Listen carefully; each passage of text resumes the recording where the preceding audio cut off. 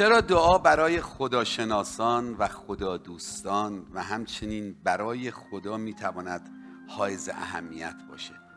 یکی دو تا سوال خیلی کوتاه جواب کوتاه من بدید. چرا؟ بلند فقط صحبت کن. چرا اهمیت داره برای خدا دوستان چرا برای خدا این موضوع دعا اهمیت داره؟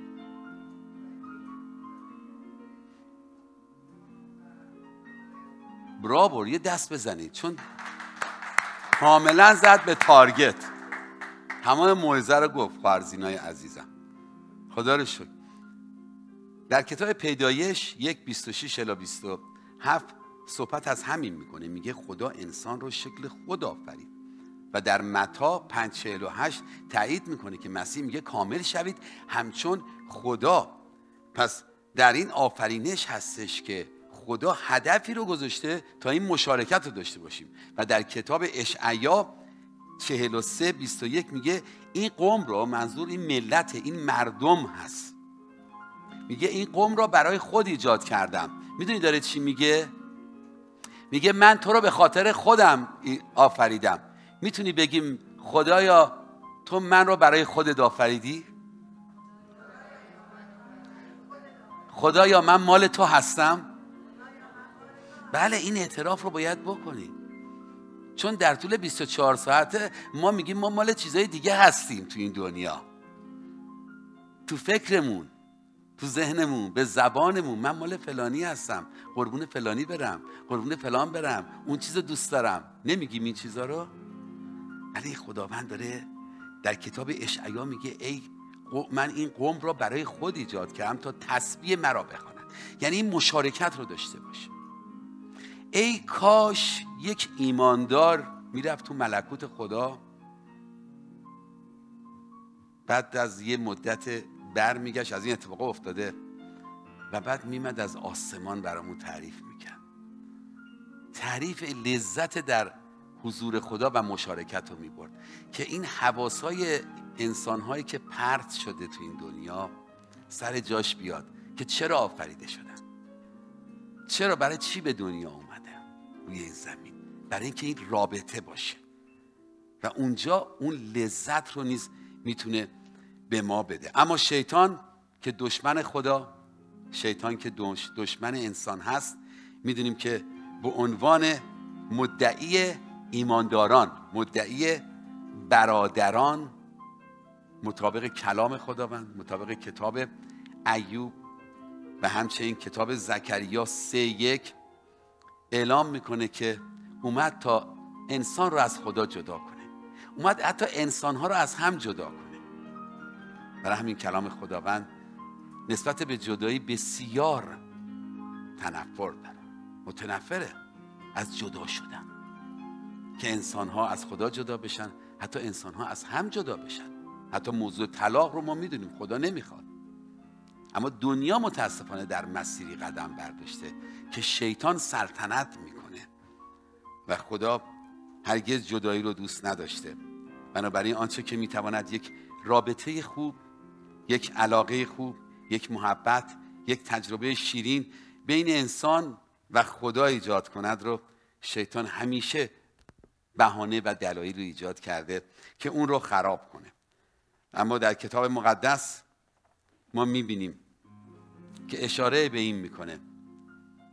در زمانی که ما با او رابطه درست داریم کلام رو می‌خونیم در دعا هستیم در مشارکت با ایمانداران هستیم در کلیسا هستیم در خدمت هستیم در درخواست پری روح القدس هستیم شیطان کمتر نمی‌خوام بگم نه کمتر می‌تونه به ما آسیب بزنه.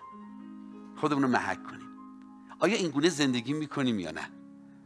آیا آنچه را که کلام خداوند از ما خواسته نسبت به تقویت خودمون در حضور خدا ما تو اون جایگاه هستیم یا نیستیم؟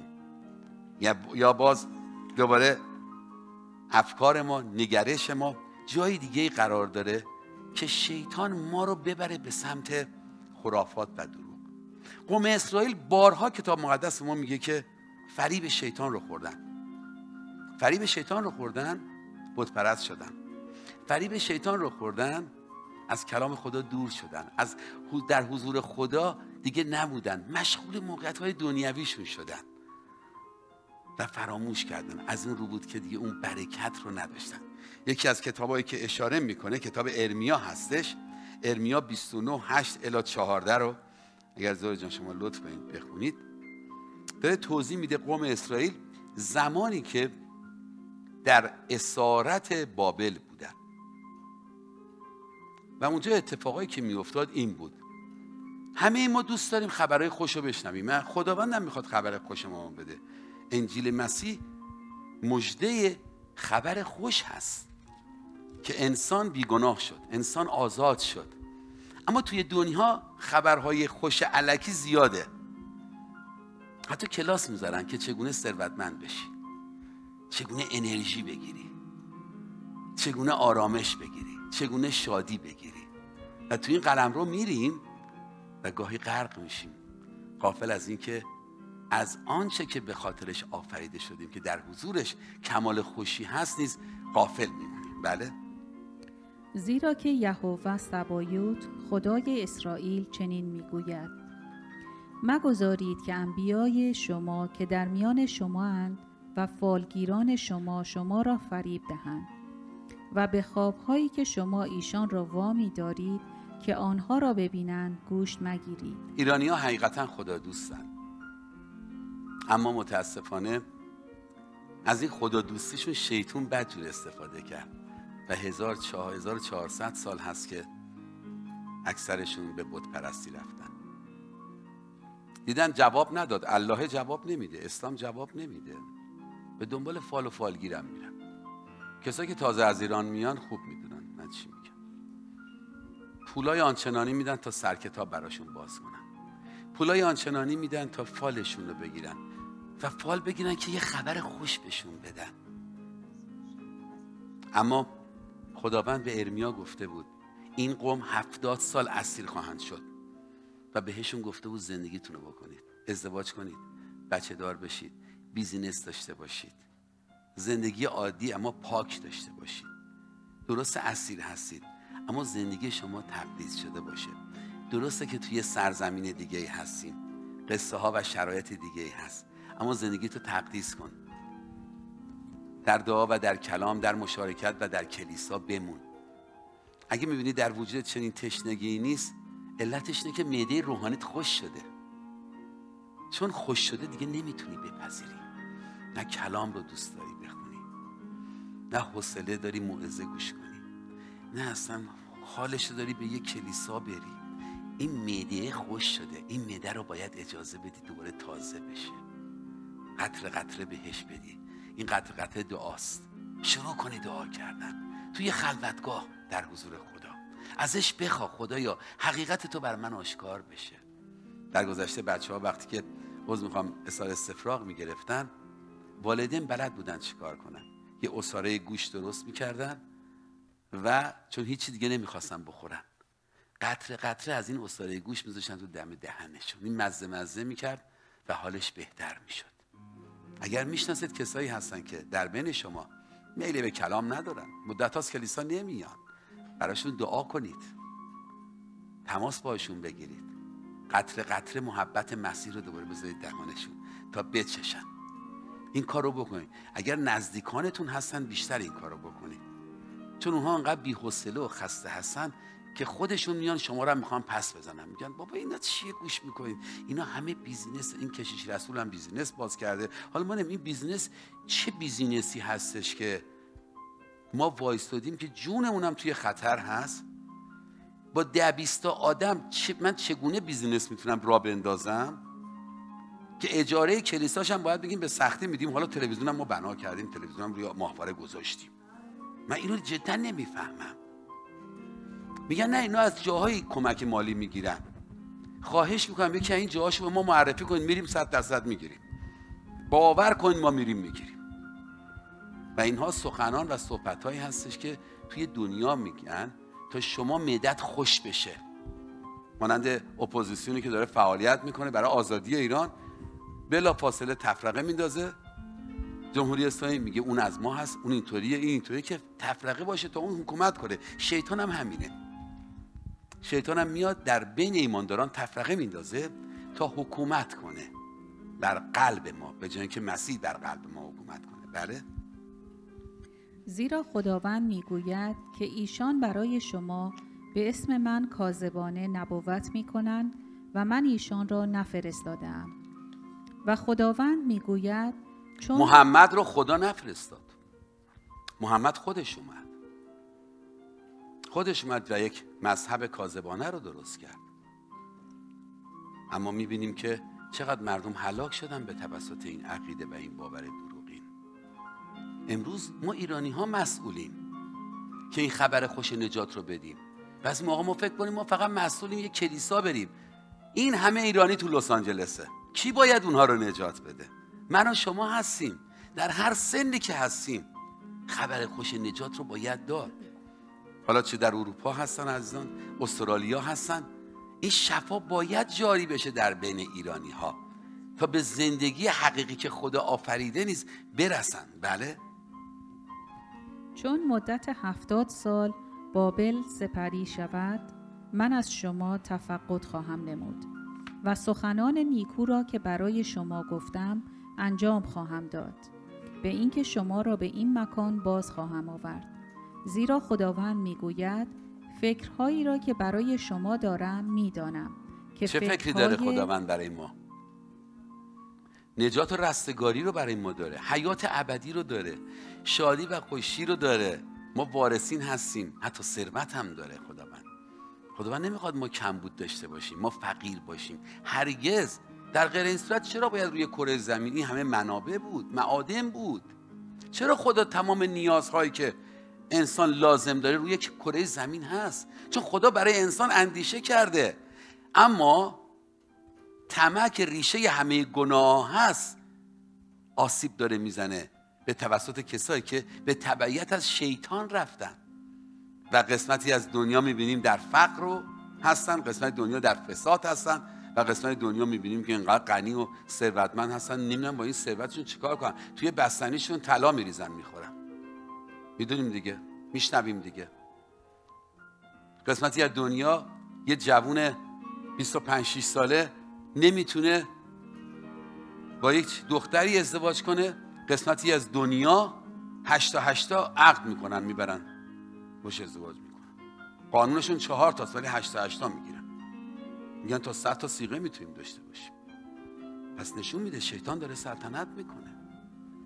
عزیزان ما فقط دنیا رو محکوم نکنیم. عذر می‌خوام. نمی‌خوام تلختون کنم. ما هم سهمی داریم.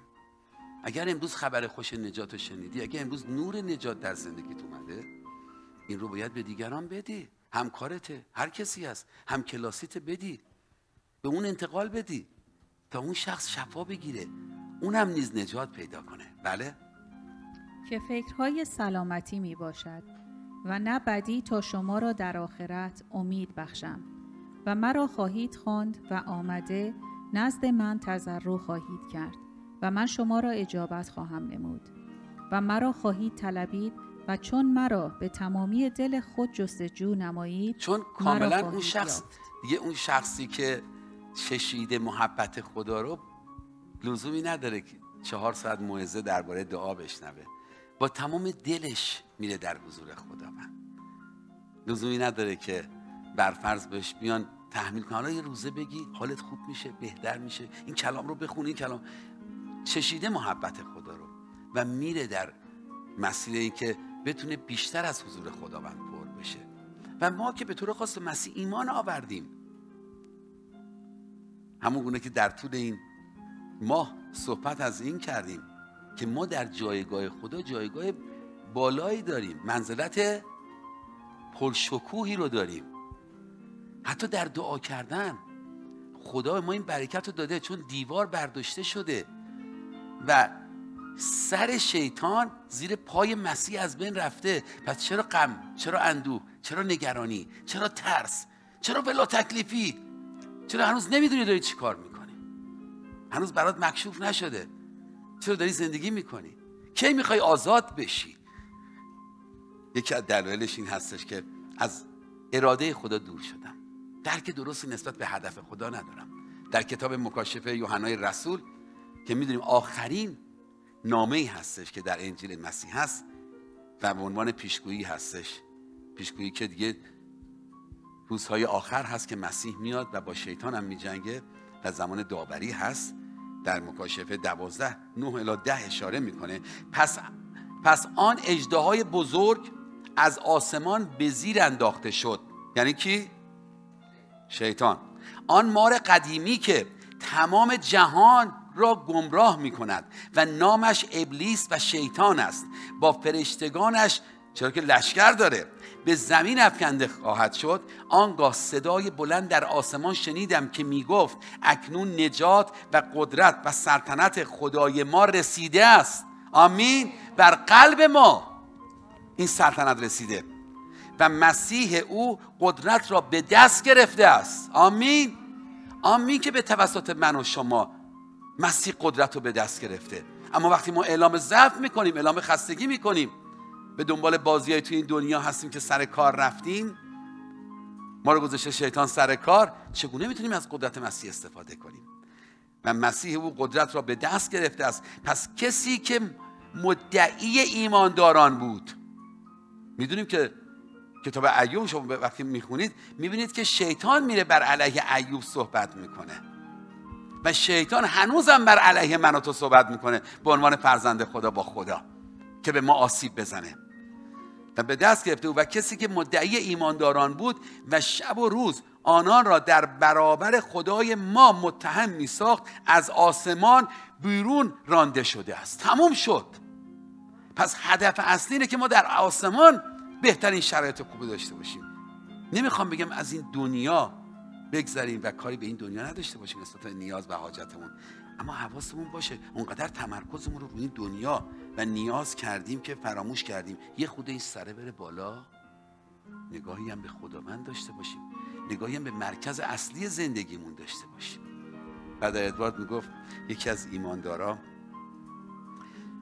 مریض شد وقتی رفتیم دیدیم گردنش اینجوریه. خوابیده. بعد گفتیم این چیه؟ چرا گردنت اینجوری شده گفت دیگه خوش شده دیگه الان این مدت اینجوری شده. بعد میگه آخه دکترا چیه گفت دکترا رو ولش کن. من خودم فهمیدم چیه. گفت چیه؟ گفت بعد ادوارد الان مدت هاست من خیلی مشغول بیزینس و کار و کسب بودم گفت خب گفت اینقدر گردنم اینجوری بود یادم رفته باید برم آسمون. خدا گفت بزن گردنش بگیرم بالا یه چند وقتی به آسمون نگاه کنه بفهمه که آسمانیه. زمینی نیستش. مواظب باشیم کجا ایستادیم؟ مسیح کلیسای مسیح رو تنها نذاریم. هدف اصلی رو رها نکنیم. و این خداوند اگر اجازه داد یگانه پسرش به خاطر من و شما روی صلیب بره و بمیره و قیام کنه نیاز من و تو رو می‌دونه چیه؟ صد درصد اجابت می‌کنه. صد درصد. من یه نمونه هستم. من خودم می‌دونم یه نمونه هستم که خداوند من و خانوادم رو حفظ کرده. به طریق های مختلف کدوم شما دیدید تو این سالها من برم یه جا دیگه کار کنم بیل بزنم؟ با اینکه certificate construction ی هم گرفتم.